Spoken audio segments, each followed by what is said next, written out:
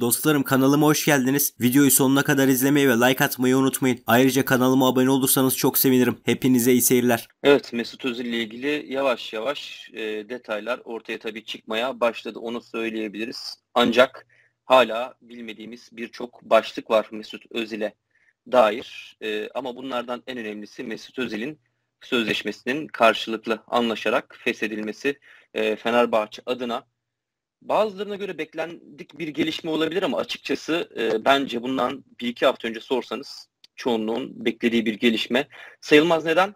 Hem Mesut Özil e, sosyal medya hesaplarında hem de menajeri Erkut Söğüt e, yaptığı açıklamalarda Mesut futbolu Fenerbahçe'de bırakacak. E, bu şekilde düşünüyoruz. Fenerbahçe'den ayrılmak gibi niyeti yok ifadelerini kullanmıştı. Ancak benim öğrendiğim e, tabii ki bu tip işlerde zaman zaman nasıl diyelim menajerler kulüpleri biraz e, zor duruma sokmaya çalışırlar. Biraz zaman zaman e, blöfler olur. Bunlar da normaldir. E, oyuncunun kulüpte kalma isteğini ve burada oynama isteğini belirtirler. Ama Fenerbahçe tarafında benim öğrendiğim e, Başkan Ali Koç hiçbir şekilde geri adım atmamış. E, kalacaksa kararına saygı duyuyoruz. Fenerbahçe'nin sözleş, sözleşmeli oyuncusu ancak kadroya geri dönmeyecek. Bu şekilde iki yılını tamamlayacak. E, sözleriyle biraz daha açıkçası Mesut Özil'in Fenerbahçe'de e, bir geleceğini olmadığını net bir şekilde artık anladığı an e, o da e, vazgeçti artık Fenerbahçe'deki kariyerinden ve bundan sonra e, kulüplerle görüşmelere başlayacak. Hatta bazılarıyla da aldığımız bilgiye göre gayri resmi olarak menajeri zaten e, haberi de ulaştırmış. E, en çok tabii ki e, adı geçen kulüplerden birisi bu anlamda herhalde e, Başakşehir olarak öne çıkıyor. Emre Belezoğlu'nun teknik direktörü olduğu takım. Ama benim öğrendiğim bu konuda net bir gelişme yok. Yani Mesut Özil'in e, Amerika Birleşik Devletleri seçeneği de var önünde.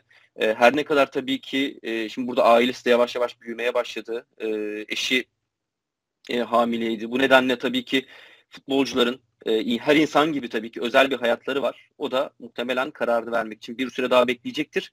Ama e, ligler de yavaş yavaş başlayacak. Oyuncular antrenmanlara başladı. O yüzden Mesut Özil'in ben çok da uzatmadan birkaç hafta içinde kararını vereceğini söyleyebiliriz.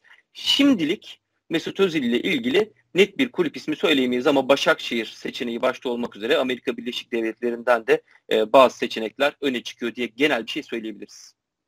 Evet teşekkür ediyoruz. Gelişmeler oldukça elbette senden dinleyeceğiz Kenan ama gündemde tabii ki transferde de isimler vardı. Tiago Şukur'u bekliyoruz bugün bu akşam gelmesini.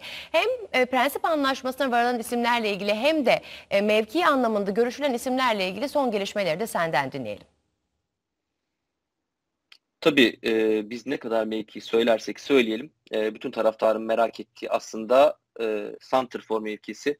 Şimdi sol bek, ön libero, ve onun dışında da e, kaleci ve sant yani kaleci Santrfor'da dördüncü isim diyelim. Aslında ilk üç bu saydığım mevki. Thiago Çukur'u burada nerede konumlandıracağız peki? Açıkçası Thiago Çukur e, George Jesus'un başkana verdiği listede olan bir isim değil. Yani böyle net bir transfer olarak değerlendireceğimiz bir isim değil aslında. Daha önce Allah yer Sayyatman işte olduğu gibi ki o projede Fenerbahçe'de oynamasa da başarılı bir şekilde iyi bir ücrete Halstead'e gitti şimdi. Murat Sağlam'ı denediler. Murat Sağlam mesela başarısız bir proje olarak çıktı. Fenerbahçe'ye ve e, herhangi bir kazancı olmadı bu projenin. Yani Thiago Çukur'da biraz böyle açıkçası Fenerbahçe'de oynar mı oynamaz mı tartışmalı bir konu. Genç bir e, oyuncu. Milli takımda da çok kısa da olsa süre aldı. E, bir bakılacak. Bence muhtemelen Jorge Jesus kısa bir süre baktıktan sonra belki e, kiralık olarak da gönderilebilir. Yani transfer olarak aslında Thiago Çukur'a net bir transfer olarak bakmamak lazım. Yani oyuncu oynar oynamaz onu bilemem. Ben şu an gelişini söylüyorum. Oyuncunun gelişinde böyle büyük bir beklenti yok. Bir potansiyel olarak geliyor. Onun dışında artık e, tam da İsmail Yüksek az önce özeti de izledik. E, İsmail Yüksek'in e, harika yani bir performans gösterdiği yani harika diyoruz biraz da şeyden dolayı yerli ve genç olmasından dolayı bazı şeyler tabii ki belki biraz abartıyoruz ama e, görünce böyle tabii ki biz de mutlu oluyoruz. E, 23 yaşında e, bir oyuncu Fenerbahçe hayallerinin kulübünde e, oynuyor ve son maçlarda Jesus'un sürekli oynattığı muhtemelen Dinamo Kiev maçında orada Crespo sakatlıktan döndü. Zayt, Mert Hakan bu oyuncular tam hazır olmadığı için orada sürekli İsmail Yüksek'i denedi e, ve İsmail Yüksek de hocasına açıkçası güvenine karşılıksız e, bırakmadı. Tam da bunu dediğimiz zaman da Fenerbahçe'ye aynı bölgeye bir transfer gelecek kısa bir süre içinde. William Aro artık oyuncu ile ilgili hiçbir e, sıkıntı kalmadı. Birkaç gün içinde onun da e, İstanbul'a gelmesini ve Fenerbahçe'ye katılmasını bekliyoruz. İsmail Yüksek'le birlikte tabii ki e, büyük bir rekabet olacak. Taraftar bir hayli memnun aynı Arda Güler'in performansından olduğu gibi.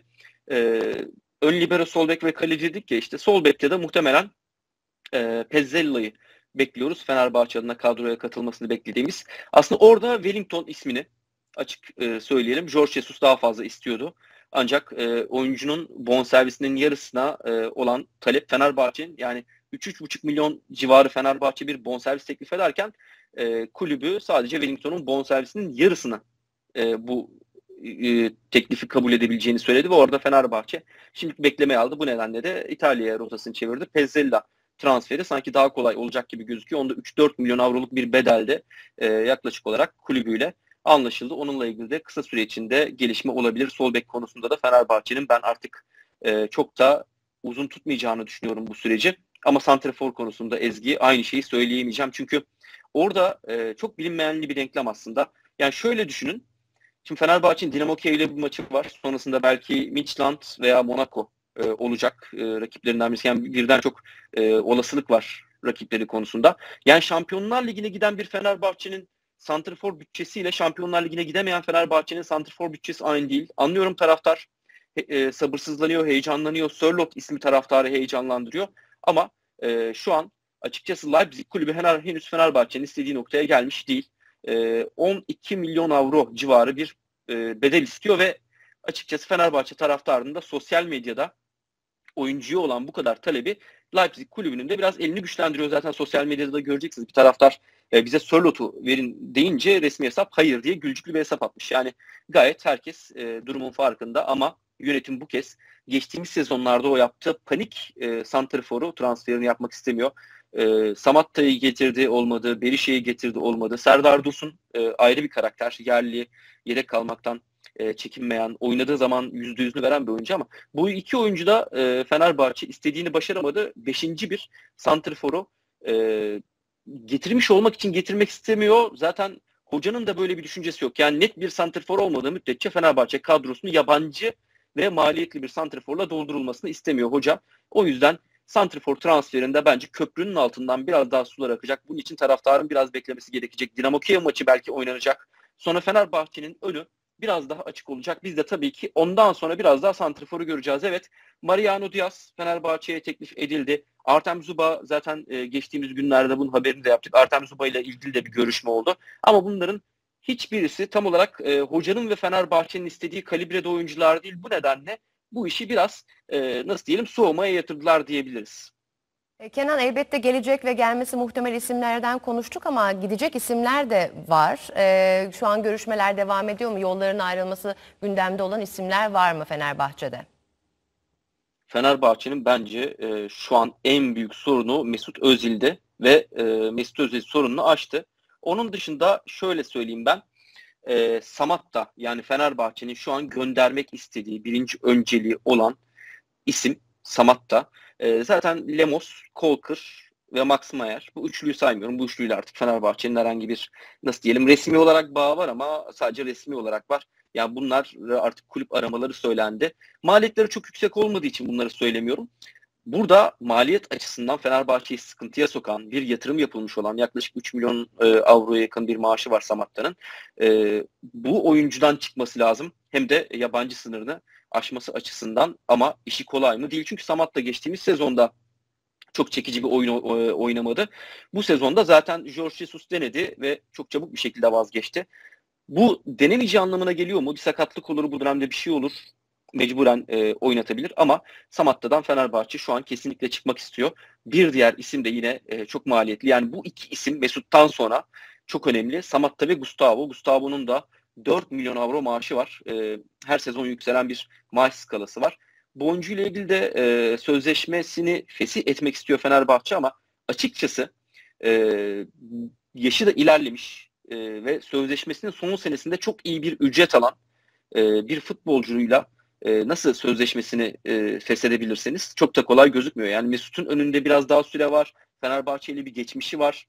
e, nasıl diyelim yani böyle bir farklılığı var ama Gustavo yani oynadıktan sonra zaten ülkesinden birçok kulübe gidebilecek bir oyuncu. Bu nedenle e, Gustavo ile işler çok zor gözüküyor. Belki yarısı ödenip yarısı başka bir kulübe e, ödenecek şekilde yani maaşını ödeyecek şekilde bir formül bulunabilir ama e, bu iki oyuncu yani Samatta ve Gustavo Fenerbahçe'nin maddi anlamda biraz e, elini sıkıştırıyor. Yani maaş anlamında şu an sıkıntısı yok Fenerbahçe'nin ama başkanın açıkçası görüşü şu şekilde e, bankaları olan borçlar vesaire bu süreçte Fenerbahçe çok da e, açılmadan gitmek istiyor. Üstelik Şampiyonlar Ligi olasılığı henüz netleşmeden önce. Orası netleşirse tabii ki daha farklı bir plan olacaktır ama bundan sonra da tabii ki sırayla e, Novak'la ilgili bir tasarrufta bulunulabilir.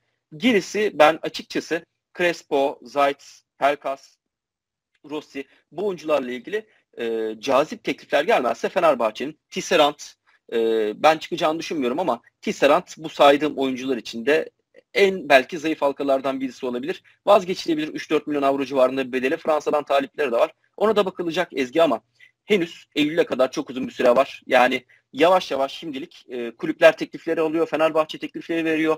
E, yani Fenerbahçe'nin santrfor alışı kadrodan gidecek oyuncular Max Meyer, Lemos, Kolkır ve Samatta dışında biraz daha Fenerbahçe'nin transfer sürecine göre ve Şampiyonlar Ligi sürecine göre şekillenecek gibi gözüküyor.